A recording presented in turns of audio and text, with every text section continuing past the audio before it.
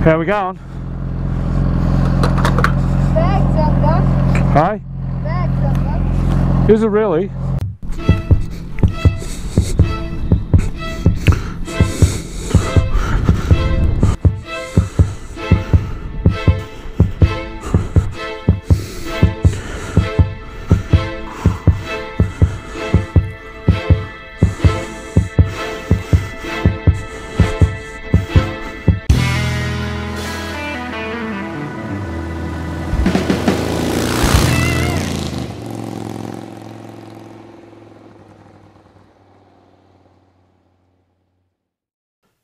And here it is. So let's uh, let's look at the aftermath, shall we? So these drones are pretty tough. Like they look like a toy, but they are a serious piece of equipment. Um, they can take a quite a few, you know, knocks and bangs. I've I've belted this one around quite a bit, crash landed it, run it into the house. I've done stupid things with it, and they're as tough as woodpecker lips, but they're no match for a, a Land Cruiser.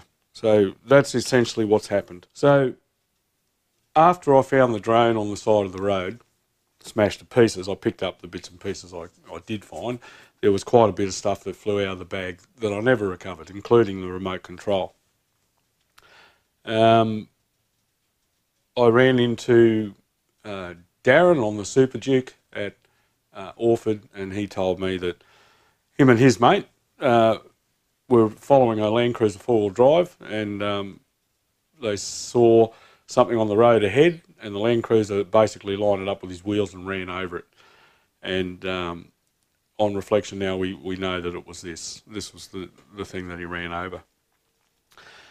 So the money and the intelligence in these drones is in the battery. Um, there's quite a bit of quite a bit of nous in those batteries, and um, you got to remember these things are packed with GPS, they're packed with Wi-Fi, they're packed with um, battery management system. There's all this all this other stuff that's in there that um, is uh, worth quite a bit of money. So let's have a look at the, the aircraft itself. First thing you'll notice is the camera's gone. So this is this is a Spark, and the Spark only has a two-axis gimbal. Uh, the next one up, the Maverick Air, Mavic Air has uh, a three-axis gimbal, but you know for what I use it for, it's it's fine. This uh, infrared screen on the front here um, has can detect objects, so it can it can avoid. It's got object avoidance plus um, it will if it comes within four feet of something, it'll basically stop. Um, so yeah, the camera is gone. We've got a broken arm here and a missing arm here.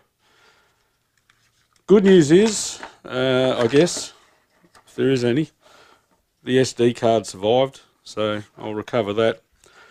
Um, other than that, this thing, I've got you know, a, a, spare servo motor or two and some props. So that's that's the aircraft. The battery is uh, the battery is uh, completely destroyed. It's this is the casing for the battery. So the truth is, there's there's nothing. I've got a couple of spare, a couple of propellers that I could um, I could reclaim and some servo motors. So what do you do? How, how do you repair that? With a new one. so uh, this looks a little bit little bit better. We have the camera back on the front. Just trying to get it in the light. So we have the we have the camera back on the front and we have a battery and um, it's all good. The propellers they they actually fly out when you start it. So that's the uh,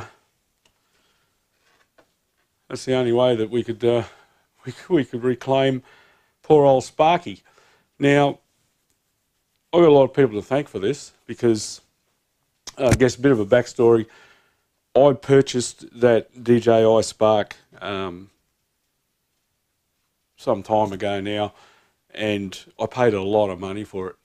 Since I guess, competition in the market and uh, other DJI products, the, the cost has gone down. So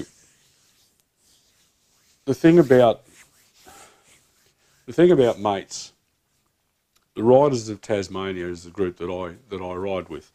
As as if you follow this channel, you'll know that.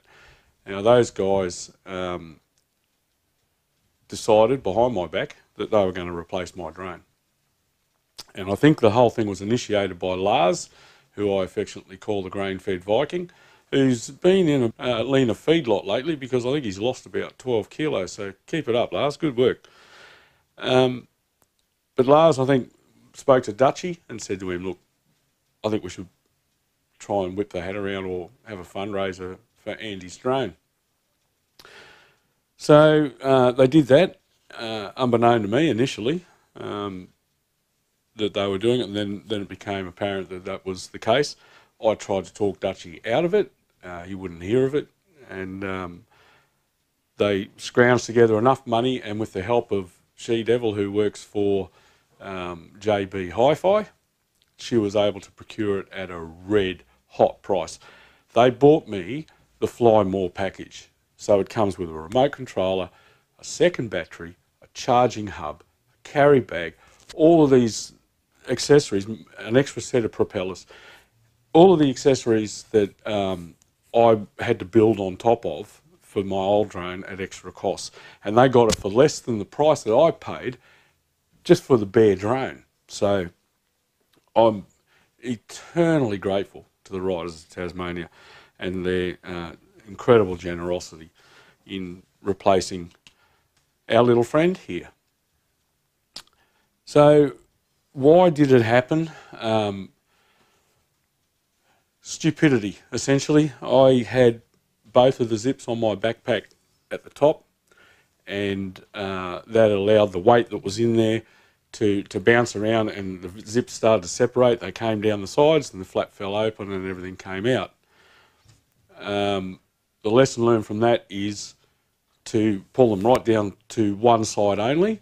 And some of the suggestions that appeared in the comments of the initial video um, suggested things like carabiners, etc. And I've since bought a little clip-in carabiner that latches the two um, the two zip heads together so they can't separate. Uh, and this happens a lot. So if you can learn from my lesson, oh, please do.